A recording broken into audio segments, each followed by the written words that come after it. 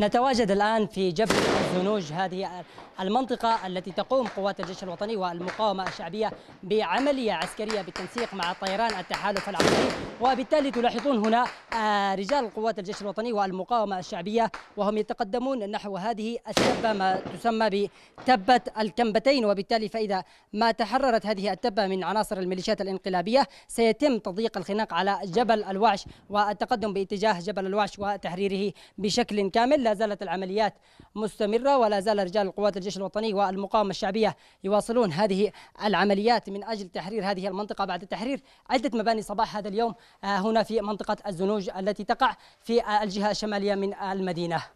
حمزة أمين قناة بلقيس تعز.